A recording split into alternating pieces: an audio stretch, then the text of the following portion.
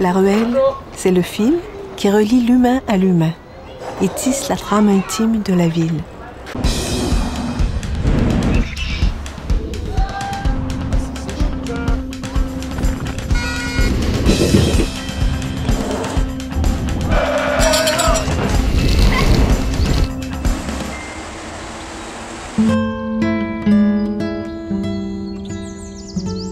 La ruelle, c'est l'oasis, l'envers de l'enfer urbain. Le petit royaume du grand ordinaire, le paradis des bonheurs du jour.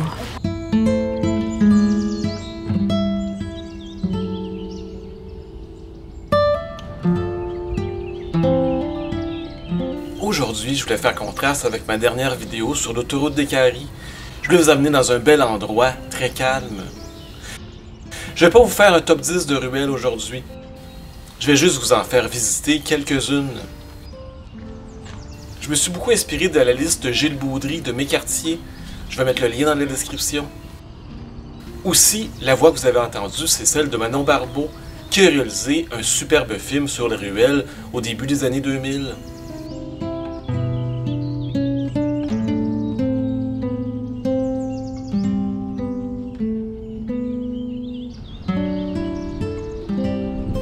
La première ruelle où je vous amène est située dans Rosemont. On a enlevé toute l'asphalte pour y mettre du gazon. Évidemment, avec les nombreux passages, il reste pas grand chose de ce gazon-là. Je prends le temps de respirer une fleur pour prouver à ceux qui disaient que Montréal ça pue. Ben c'est faux, ça sent les bonnes fleurs. La ruelle enchantée n'a peut-être pas tout le luxe qu'elle avait il y a quelques années, mais c'est quand même un endroit encore très agréable à visiter.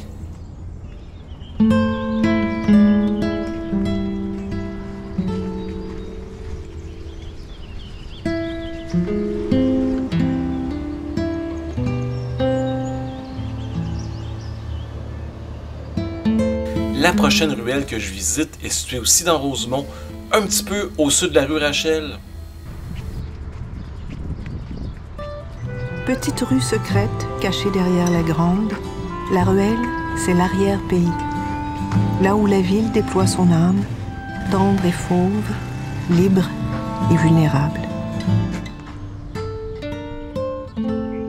C'est encore une fois une ruelle très verte et très fleurie.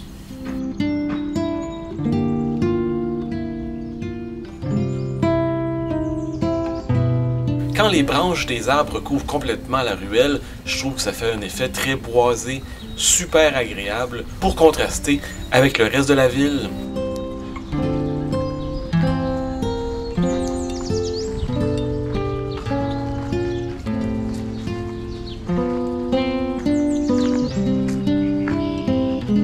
Je trouve que les riverains de la ruelle sont vraiment chanceux.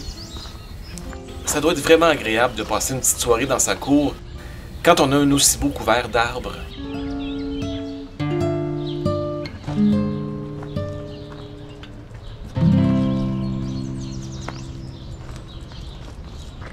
J'ai aussi croisé une ruelle verte en devenir.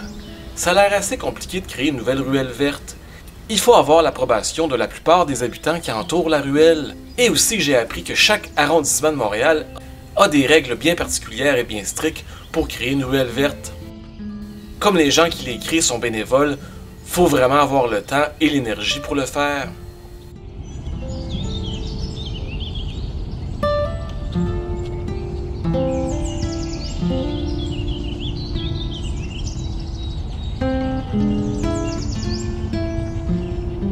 Les ruelles à Montréal ont été créées avec la disparition graduelle des portes cochères. Ben oui, il fallait donner un accès au cours arrière pour les livreurs de charbon, pour les guenilloux, les livreurs de bois ou les livreurs de glace. C'est aussi près des ruelles qu'on mettait les bécosses. Avec le temps, l'eau courante est arrivée dans les bâtiments et les services qu'on offrait derrière les maisons ont disparu peu à peu. On est maintenant dans une ruelle du plateau qui a beaucoup été investie par des artistes et par les riverains. Les décorations et œuvres d'art de cette ruelle sont nombreuses et fascinantes.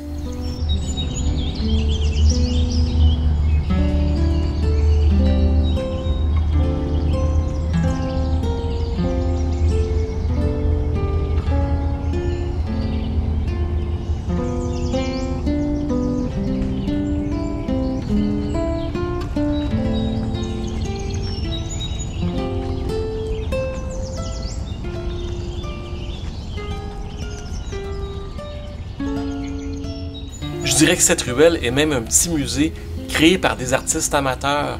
Elle en vaut vraiment le détour.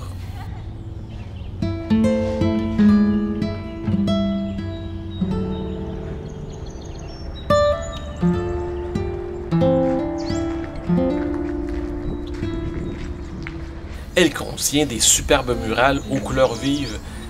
J'ai vraiment eu beaucoup de plaisir à découvrir ce petit endroit de Montréal caché derrière les maisons.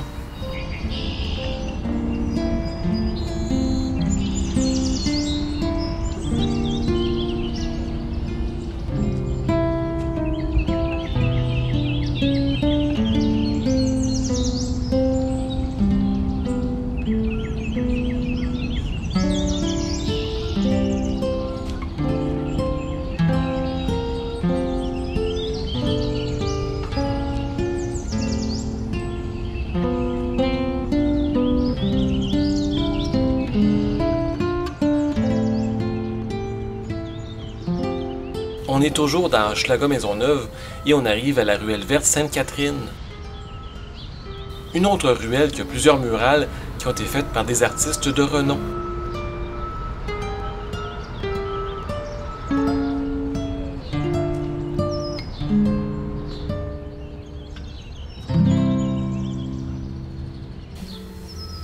Les riverains de la ruelle verte Sainte-Catherine se sont beaucoup impliqués dans sa décoration. La plupart des clôtures sont décorées et l'aménagement fleuri est très beau. On peut même y voir des hôtels pour insectes. Pourquoi des hôtels? Ben parce que même les insectes n'approuvent pas les Airbnb.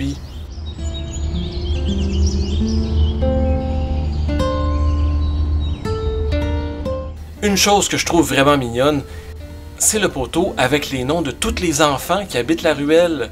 Franchement, c'est mon coup de cœur de cette vidéo. Je suis sûr que les enfants seront très heureux d'avoir leur nom ici et de partager la ruelle avec leurs petits amis.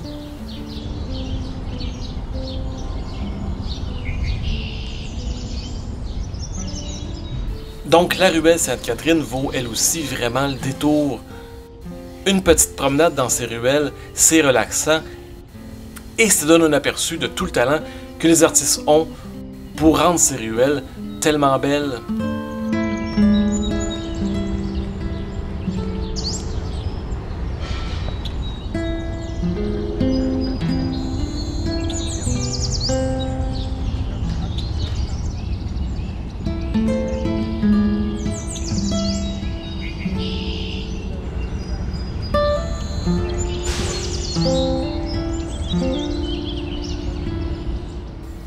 Nord, voisine de la ruelle Sainte-Catherine, il y a la ruelle Vimont.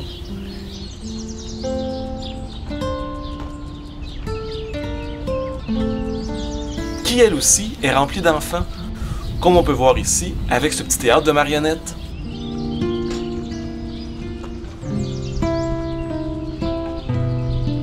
J'y ai vu beaucoup de jouets d'enfants, mais pas d'enfants. Peut-être parce qu'on était lundi au début juin et que les enfants sont encore à l'école.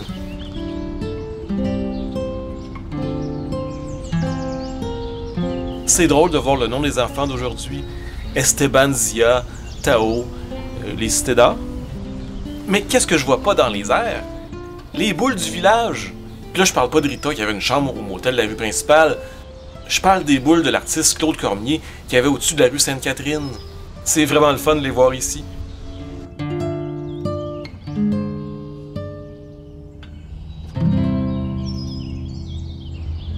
On arrive maintenant au petit village Sicard. Là, il y a un grand potager où les riverains, j'imagine, peuvent venir planter leurs choses. On ne voit pas bien là, mais ce potager est fait en forme de tortue.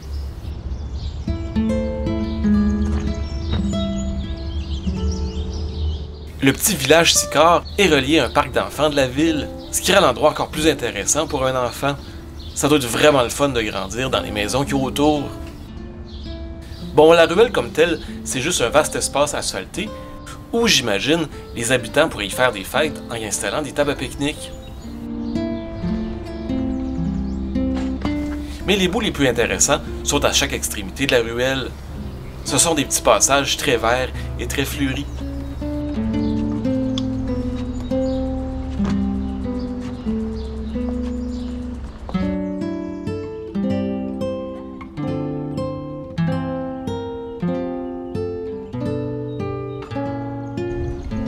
Arrive maintenant à la ruelle La Petite Pologne, qui s'appelle comme ça? Parce qu'il y avait une forte présence polonaise au 20e siècle dans ce coin-ci.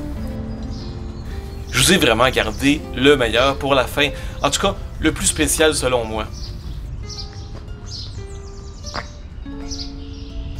La ruelle La Petite Pologne est non seulement très verte, on a enlevé l'asphalte, et très fleurie, mais elle est aussi boisée et elle monte dans une pente assez ardue. Ben oui, on est dans le secteur juste avant la rue Sherbrooke, qui au centre de Montréal, fait un dénivelé assez fort. Avec ce couvert de verdure, on a l'impression que l'ascension se fait dans une forêt, comme un peu au Mont-Royal. Ben oui, on a les référents qu'on peut.